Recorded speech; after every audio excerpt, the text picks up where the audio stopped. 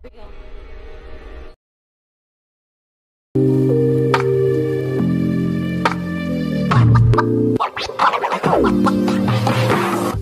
teman-teman, selamat datang kembali di channel Jejak Film. Kali ini kita akan mengulas sebuah alur cerita film yang telah rilis pada tahun 2006 dengan judul Pulse. Film ini akan menceritakan sekawanan makhluk astral yang berhasil menerobos masuk ke dunia manusia melalui frekuensi sinyal wifi dan juga seluler. Hal tersebut terjadi ketika seorang hacker iseng-iseng meretas sebuah proyek telekom dan tak sengaja membuka akses yang menjadi jalur bagi para makhluk astral untuk mencapai dunia para manusia. Apa sebenarnya yang diinginkan para makhluk tersebut? Kita ikuti saja alur ceritanya. Film diawali dengan memperlihatkan seorang mahasiswa IT yang bernama Josh. Hari itu ia seperti sangat terburu-buru menuju perpustakaan kampus dan mencari seseorang yang bernama Ziegler. Ziegler? Belum diketahui maksud tujuannya mencari Ziegler akan tetapi sepertinya mereka sudah janji bertemu dan memiliki urusan yang sangat mendesak sekali. Akan tetapi di dalam perpustakaan ia tak menemukan Ziegler, melainkan ia malah melihat troli berjalan sendiri dan buku-buku yang berjatuhan dari tempatnya. Saat ia mengira itu adalah Ziegler, tiba-tiba sosok penampakan muncul dan menyerangnya.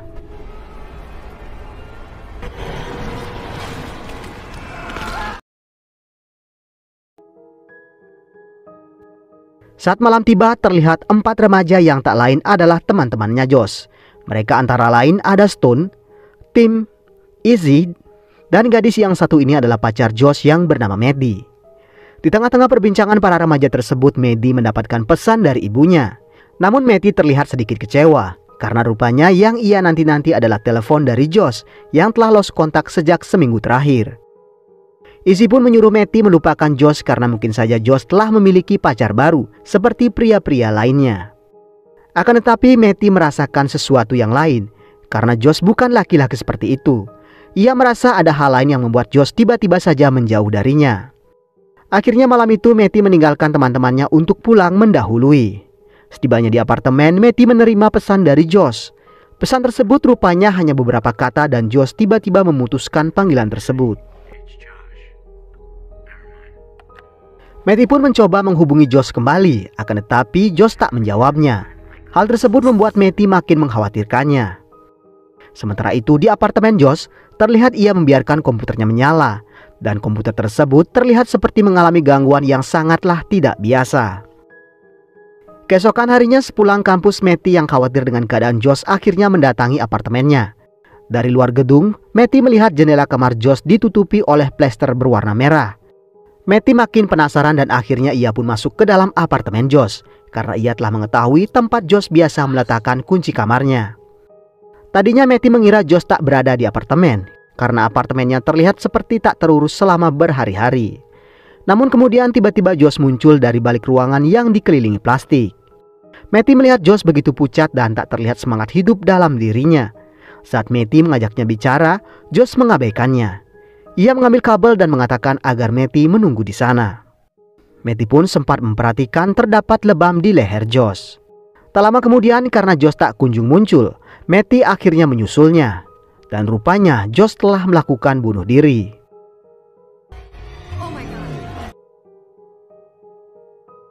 Sehari kemudian saat Matty dan yang lain berchatting di grup, tiba-tiba saja Josh ikut masuk dalam percakapan mereka dengan kata-kata tolong yang diulang secara terus-menerus.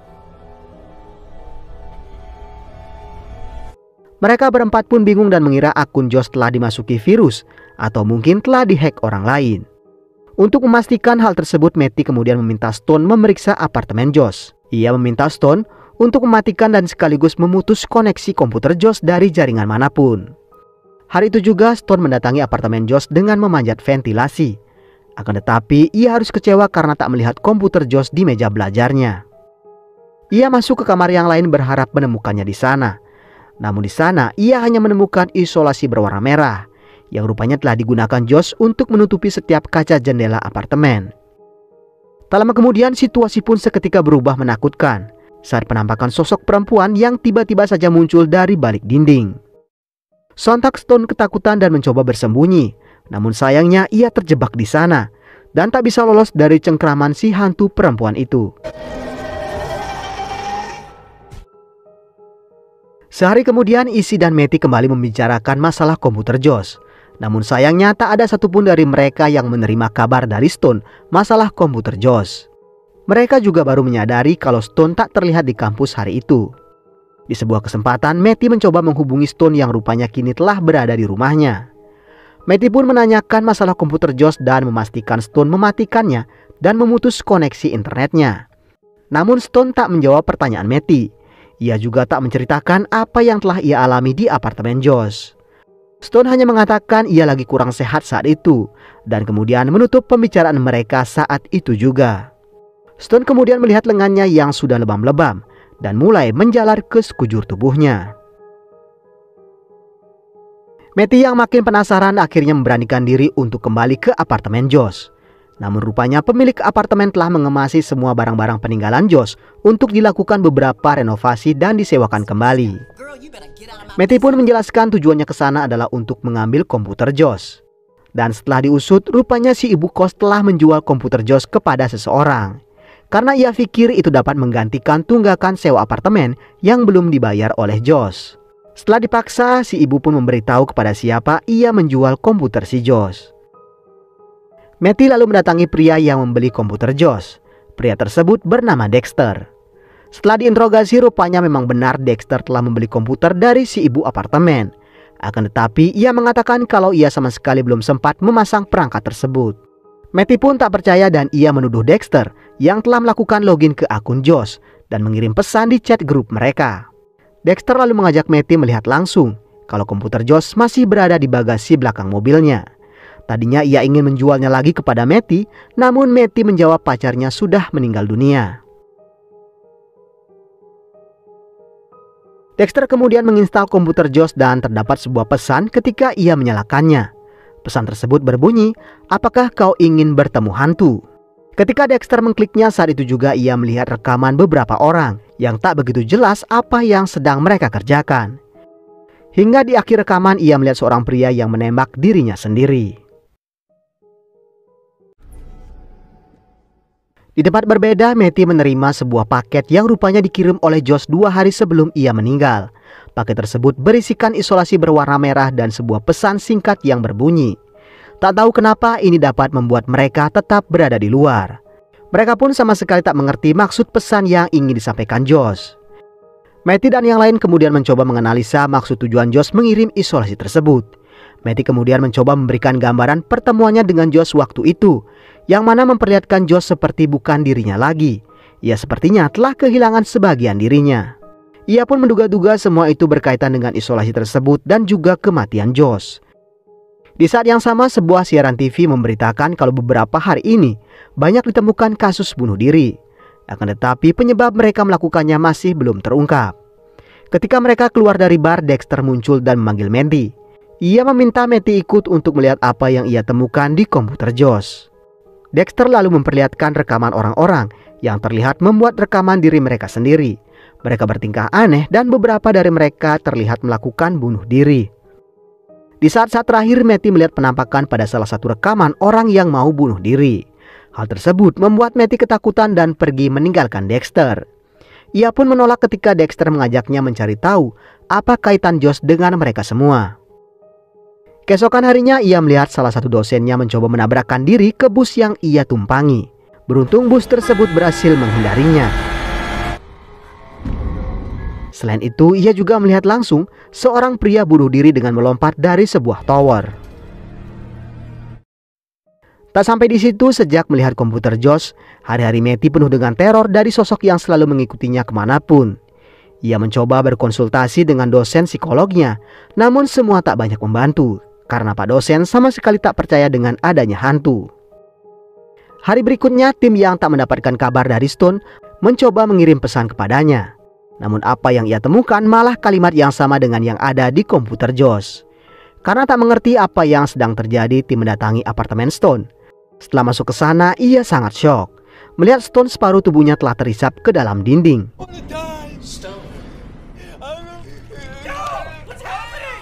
Tim mencoba menolongnya, namun Stone mengatakan ia tak ingin hidup lagi.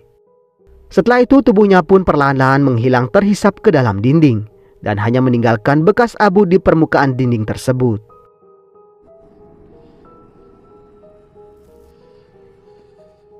Tim bergegas kembali ke apartemen. Ia menutupi semua jendela dan pintu dengan isolasi merah. Namun saat mengintip dari lubang pengintai sebuah bayangan muncul, hingga kaca pun pecah dan mengenai kedua matanya.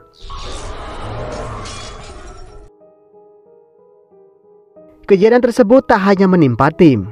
Para hantu rupanya juga mendatangi si profesor yang malam itu masih berada di kampus.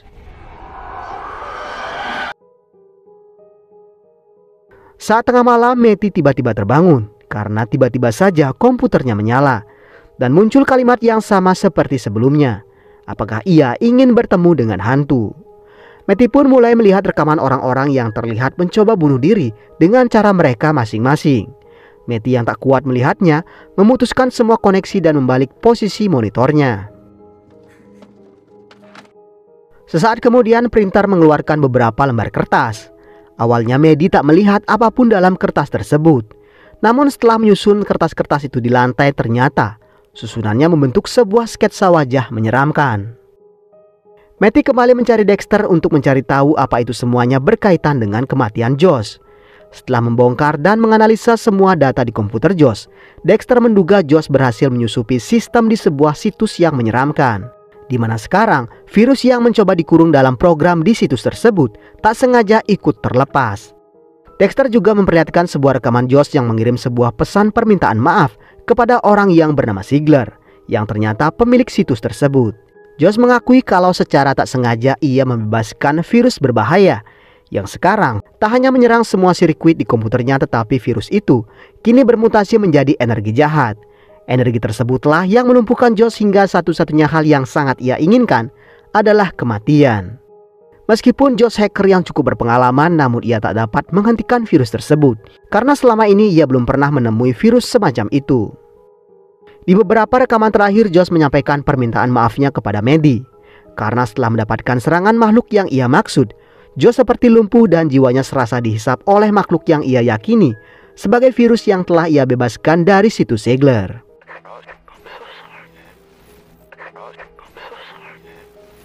Mereka kemudian kebar untuk membahas masalah tersebut, di mana dari semua kejadian Medi berasumsi kalau Joe sebenarnya tak melepaskan apa pun dari komputernya Segler.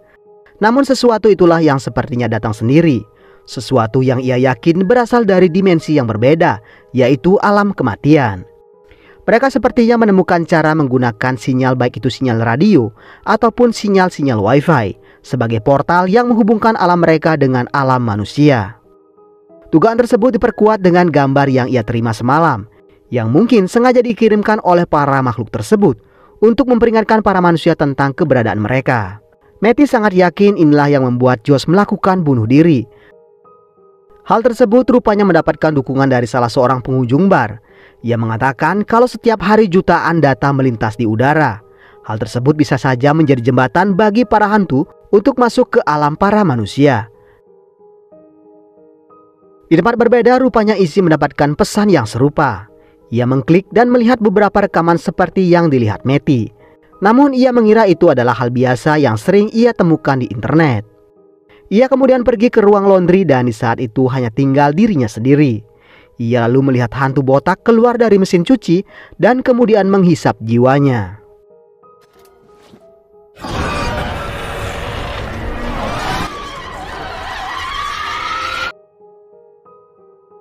Hari berikutnya tersiar berita kalau virus aneh mulai menyerang komputer di seluruh dunia. Banyak warga kota menghilang dan sebagian dari mereka ditemukan tewas bunuh diri. Para warga pun diminta mematikan komputer dan memutuskan semua koneksi internet, menempel isolasi merah di setiap kaca di rumah, dan bahkan celah sekecil lubang kunci sekalipun. Sementara itu, Dexter yang tengah mencari tahu keberadaan orang yang bernama Ziegler menemukan pesan lain dari Josh di mana Josh saat itu memberitahu kalau ia telah menyimpan sebuah konfigurasi formula ke dalam sebuah flash disk yang ia sembunyikan di dalam PC itu sendiri. Josh mengatakan ia belum sempat mengujinya namun ia yakin formula tersebut dapat menghentikannya. Dexter kemudian membuka file tersebut namun tiba-tiba komputernya mengalami gangguan dan malahan beberapa makhluk mulai mendatangi Dexter.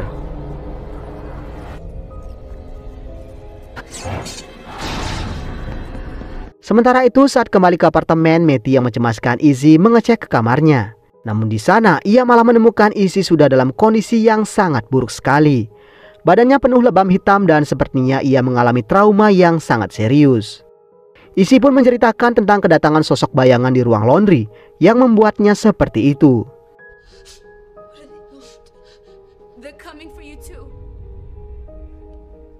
Matty kemudian menelpon 911 namun tidak ada respon dari para operator. Rupanya jauh di sana kondisi ruang operator 911 telah kosong. Semua operator sepertinya mengalami nasib yang sama seperti Stone. Tak cuma para operator 911, keadaan kota juga sekarang sangatlah kacau. Orang-orang di kota banyak yang tiba-tiba menghilang dan sekarang kota tersebut seperti kota mati. Di saat itu juga Matty menyaksikan sendiri Izzy berdiri dan perlahan-lahan tubuhnya hancur menjadi abu. Matty lalu menghubungi Dexter dan mengajaknya bertemu. Di sana Dexter mengatakan kalau ia telah menemukan program yang sengaja disembunyikan oleh Josh. Dan kini mereka bermaksud menemukan orang yang bernama Ziegler untuk mengunggah program tersebut ke dalam servernya dengan tujuan menghentikan para virus tersebut. Akan tetapi dalam perjalanan mereka ditabrak sebuah mobil saat diperiksa, rupanya orang yang menabrak mereka pun telah lenyap menjadi abu.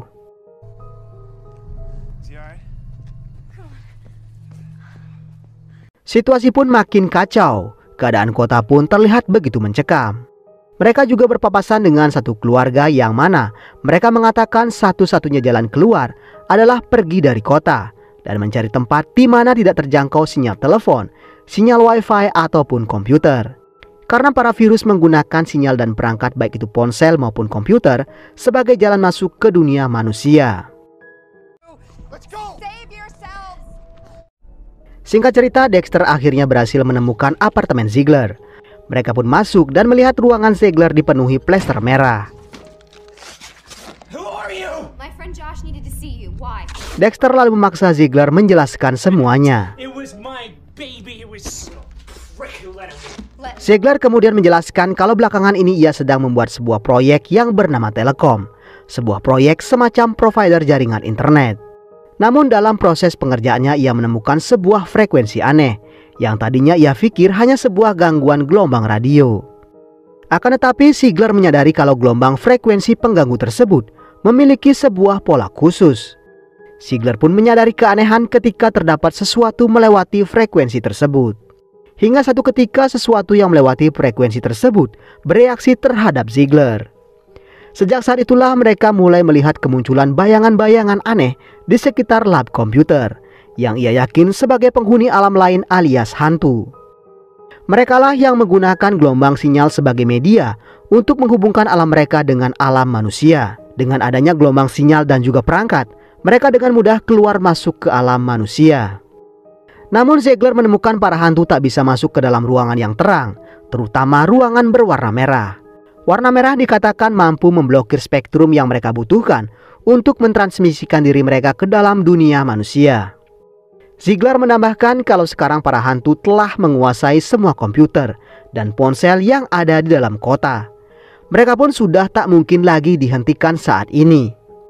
Dexter kemudian mengeluarkan flash disk milik Josh yang katanya terdapat program spesial untuk menghentikan para virus tersebut. Awalnya Ziegler ragu dan melarang mereka ke ruang server. Tapi melihat semangat mereka berdua, Ziegler akhirnya mengizinkan mereka masuk ke ruang server yang terletak di ruang basement.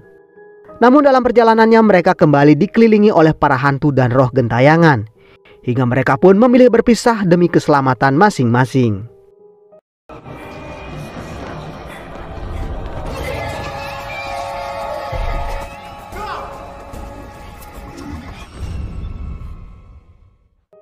Medi yang berhasil menemukan ruangan server lebih dulu melihat sosok hantu yang kemudian membawanya ke dunia lain.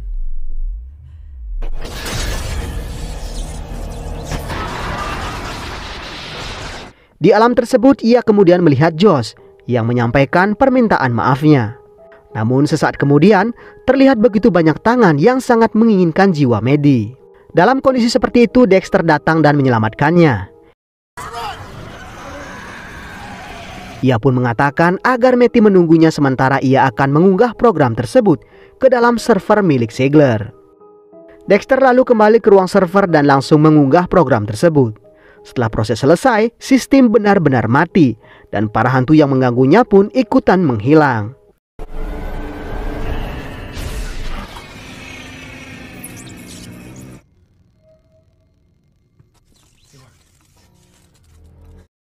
Namun sesaat kemudian sistem menyala kembali. Secara otomatis para hantu pun kembali berdatangan. Mereka pun tak menemukan cara lain selain keluar dari sana secepatnya. Setelah berada di luar, Dexter menemukan mobil yang masih berfungsi normal. Tak membuang-buang waktu, mereka langsung menancap gas keluar dari kota tersebut. Beberapa waktu kemudian terlihat mereka telah berada jauh dari kota dan mereka tengah beristirahat. Meti kemudian terbangun karena mendengar suara siaran radio. Akan tetapi Meti tiba-tiba saja tersadar. Ia berpikir jika ia bisa mendengarkan radio berarti mereka masih berada dalam jangkauan sinyal, alias mereka tak benar-benar berada di zona bebas sinyal. Tak lama kemudian Meti melihat sebuah bayangan mengintipnya dari luar mobil. Saat itu juga para bayangan lain datang dan menyerang mereka berdua. Dexter kembali menancap gas dan perlahan-lahan sinyal pun mulai melemah hingga benar-benar tak tersisa satu bar pun. Di saat bersamaan para bayangan pun ikutan lenyap. Mereka pun menyadari kalau yang membawa para bayangan tersebut kepada mereka adalah sinyal dan juga perangkat. Menyadari hal tersebut, Meti langsung membuang ponsel miliknya. Setelah itu mereka kembali menancap gas menuju ke tempat di mana tidak ada sinyal tidak ada komputer dan juga telepon.